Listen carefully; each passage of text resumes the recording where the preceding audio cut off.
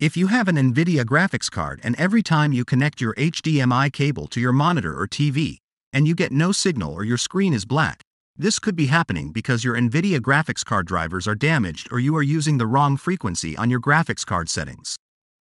So, in this tutorial you will learn how to resolve this HDMI issue in a quick and easy way.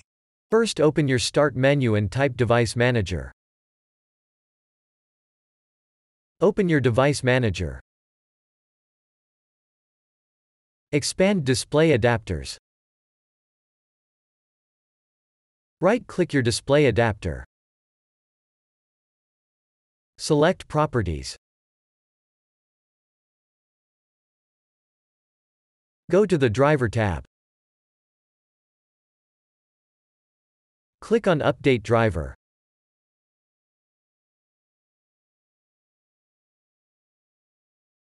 Click on Search automatically for driver software. Wait for the update to be installed. You can also click on Search for updated drivers on Windows Update.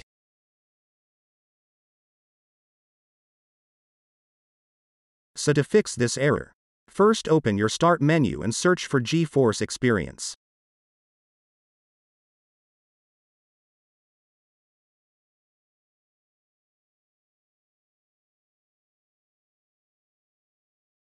Click on Drivers. Press the check for updates.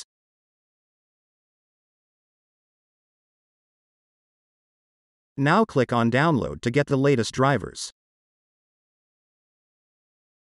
Wait for the drivers to be downloaded.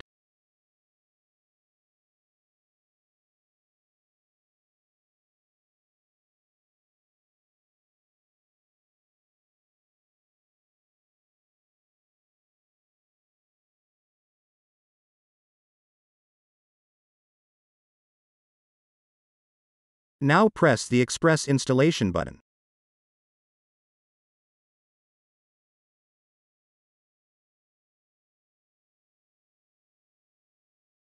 Now wait for GeForce Experience to install the latest drivers.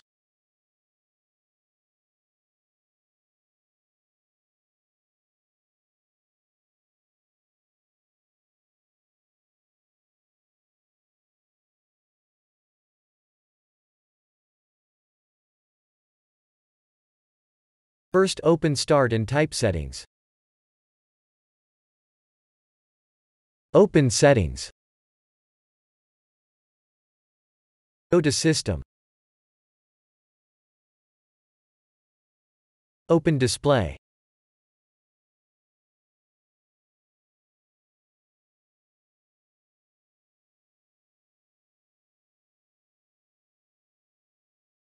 Open Advanced Display. Go to choose a refresh rate.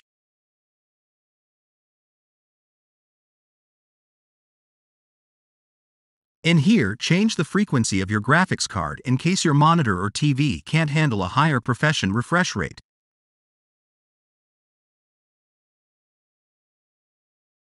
Close the settings window and your problem should be fixed.